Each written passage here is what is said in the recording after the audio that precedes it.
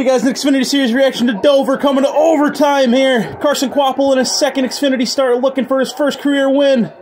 Sheldon Creed in the row two there looking for his first career win. Austin Hill looking to ruin everything. Oh, Austin Hill sliding sideways. He's going to spin. Save it, save it, save it, save it, save it, save it, save it, save it. Oh my god, see if we restart. Here we go, attempt two in overtime. Kvapil leads over Ryan Truex. Oh. Tied off at turn two. Oh man, can we make it two laps, please? Three, I think.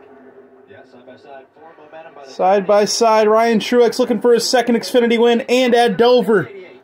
Truex clears point. Ryan Truex takes the lead. Ryan Truex, white flag for him. One lap remains at Dover. Can he go back to back years? Caution! Ryan Truex goes two years in a row at Dover. And Truex had all Wow. the white flag. This race is over. It's over. Heartbreaker for Kvapil. Ryan Truex two years in a row. He wins at Dover. The Super Bowl.